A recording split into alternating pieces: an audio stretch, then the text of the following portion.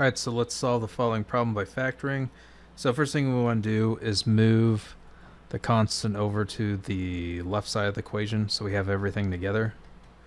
So I do know that this is going to be factors as, as excuse me as a 2x and an x.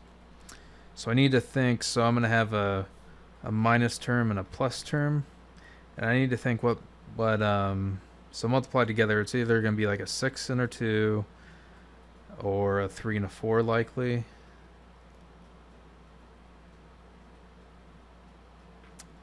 So 2 times 4. So 2 times 4, so that's going to be a positive 4. And then a negative 3. So this looks like it's right. So let's try it. So 2x squared plus 4 times 2x 8x minus 3x. Negative 3 times 4 is 12 negative 12. So 2x squared plus 5x minus 12. So that matches up originally with what we had. So this is our factored form, but we need the actual results. So we have x is equal to negative 4. It's to get whatever's inside of these equal to 0 and 3. Or not 3. Um, 3 halves. And that's it.